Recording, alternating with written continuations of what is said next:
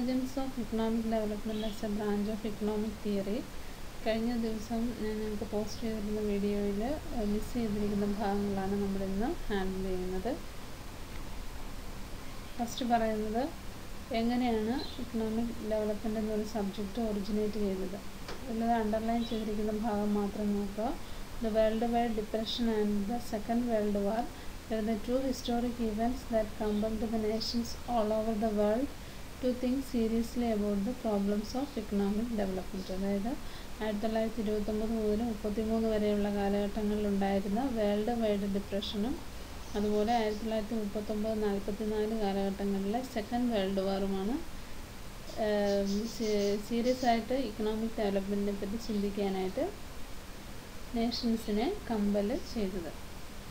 Next അടുത്ത underline ചെയ്തിരിക്കുന്ന ഭാഗം എന്ന് പറയുന്നത് the growing importance of the subject and the interest shown by the states in the problems of development the economics of development is now considered as an important branch of economic theory ഇങ്ങനെ ഒരു growing importance ഈ സബ്ജക്റ്റിൽ States കാണിക്കാൻ തുടങ്ങിയപ്പോഴത്തേക്കും മുതലാണ് economics of development എന്ന് പറയുന്ന ഒരു important branch of economic theory ആയിട്ട് emerge ചെയ്തത്.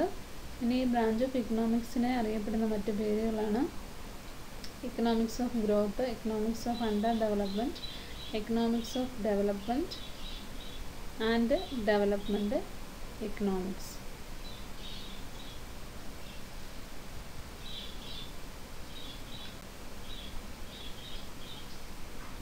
ഇനി ഇക്കണോമിക് ഡെവലപ്മെന്റിൽ നമ്മൾ സ്റ്റഡി ചെയ്യുന്നത് എന്താണ്?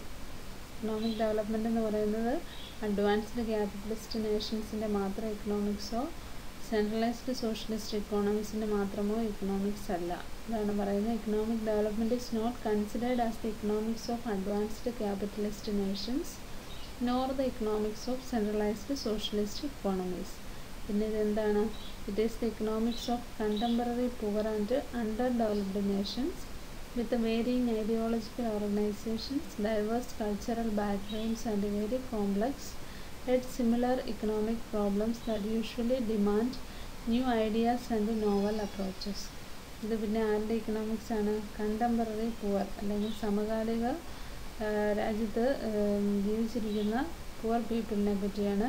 അതുപോലെ അണ്ടർ ഡെവലപ്ഡ് നേഷൻസിനെ പറ്റിയാണ്. അതിന്റെ ആ അണ്ടർ ഡെവലപ്ഡ് നേഷൻസിന്റെ പ്രത്യേകത എന്ന് പറയുന്നത് ഐഡിയോളജീസ് ഡിഫറെന്റ് ആണ്. വേരിങ് ഐഡിയോളജിക്കൽ ഓർഗനൈസേഷൻസ് അതുപോലെ കൾച്ചറൽ ബാക്ക്ഗ്രൗണ്ട് എന്ന് പറയുന്നത് ഡൈവേഴ്സ് ആണ്.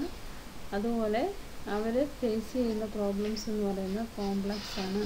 ആ പ്രോബ്ലംസിന് സൊല്യൂഷൻ കണ്ടുപിടിക്കണമെങ്കിൽ ന്യൂ ഐഡിയാസും നോവൽ അപ്രോച്ചസും ആവശ്യമാണ്. അതിന് ഫോർ റീസൺസ് ആണ് പറയുന്നത്. എന്ത് എന്ത് റീസൺസ് ആണെന്ന് ചോദിച്ചു കഴിഞ്ഞാൽ എക്കണോമിക്സ് ഓഫ് ഡെവലപ്മെന്റിന് പ്രാധാന്യം കൊടുക്കത്തക്ക രീതിയിലുള്ള ഒരു ആറ്റിറ്റ്യൂഡ് ചേഞ്ച് നേഷൻസിന് എങ്ങനെയാണ് ഉണ്ടായത് എന്നുള്ളതാണ് ഇവിടെ നമ്മൾ പറയുന്ന കാര്യം. ഫസ്റ്റ് പറയുന്നത് അതായത് ഇതിലേക്ക് ഫോക്കസ് ചെയ്യാനായിട്ടുള്ള അല്ലെങ്കിൽ ഇക്കണോമിക്സ് ഓഫ് ഡെവലപ്മെന്റ് എന്ന് പറയുന്ന പ്രോബ്ലത്തിലേക്ക് ഫോക്കസ് ചെയ്തുകൊണ്ട് എങ്ങനെയാണ് ഇതിന്റെ അല്ലെങ്കിൽ എന്തൊക്കെ കാരണങ്ങളാലാണ് ആറ്റിറ്റ്യൂഡ് ആൻഡ് എന്താണ് increasing interest towards economics of development and economics of poor countries എന്ന് പറയുന്നത് സംഭവിച്ചത് എന്നാണ് പറയുന്നത് ഫസ്റ്റ് എന്ന് പറയുന്നത് great depression of the nineteen thirties in the aftermath of second world war there was a renewed academic interest among professional economists in the growth and development process and in the theory and practice of planning. ഇവിടെ പറയുന്നത് great ഡിപ്രഷനും second world വാറിനും ശേഷം professional ഇക്കണോമിസ്റ്റിനിടയിൽ ഒരു academic interest renew ചെയ്തു. ഉണ്ടായി. എന്താണ്?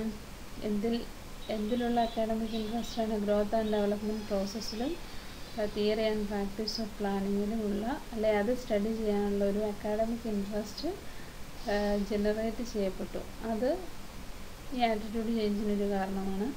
രണ്ടാമത് പറയുന്നത് the poor countries themselves have become aware of their own backwardness അതായത് പുവർ കൺട്രീസ് അവരുടെ ബാക്ക്വേർഡ്നെസ്സിനെ പറ്റി അവർ തന്നെ അവെയറായി അതും റാപ്പിഡ് ഇക്കണോമിക് പ്രോഗ്രസ് നേടണം എന്നുള്ള ആഗ്രഹത്തിലേക്ക് അവരെ നയിച്ചു. മൂന്നാമതായിട്ട് പറയുന്ന absolute numbers of poor people are considerably greater now than in the past അതായത് ഈ ആഫ്റ്റർ സെക്കൻഡ് വേൾഡ് വാർ അതുപോലെ തന്നെ ഗ്രേറ്റ് ഡിപ്രഷൻ ഇതിനൊക്കെ ശേഷം എന്ത് സംഭവിച്ചു?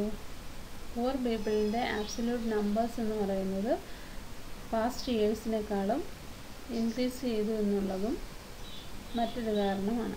അങ്ങനെ ഇൻക്രീസ് ചെയ്തപ്പോൾ അത് കുറയ്ക്കുക എന്നുള്ള ലക്ഷ്യം ഇടുക എന്ന് പറയുന്നത് ഒരു അത്യന്താപേക്ഷിതമായ ആവശ്യമാണ്.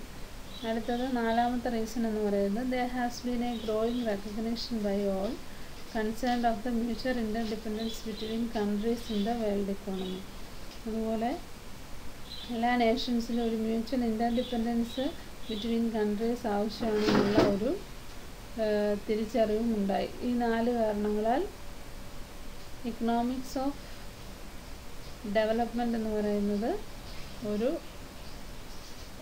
എന്താണ് പുവർ പീപ്പിളിലേക്ക് അല്ലെ പുവർ കൺട്രീസിലേക്ക് അണ്ടർ ഡെവലപ്ഡ് നേഷൻസിലേക്ക് തിരിക്കുക എന്നുള്ള ലക്ഷ്യം അല്ലെ? ചേഞ്ച് ഇൻ ആറ്റിറ്റ്യൂഡ് എന്ന് പറയുന്നത് ജനറേറ്റ് ചെയ്തത് ഇങ്ങനെയാണ്.